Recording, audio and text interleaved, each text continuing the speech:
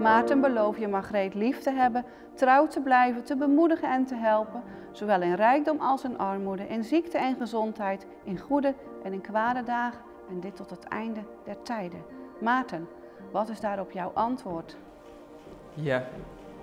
Margreet beloof je Maarten lief te hebben, trouw te blijven, te bemoedigen en te helpen, zowel in rijkdom als in armoede, in ziekte en gezondheid, in goede en in kwade dagen en dit tot het einde der tijden. Margreet, wat is daarop jouw antwoord?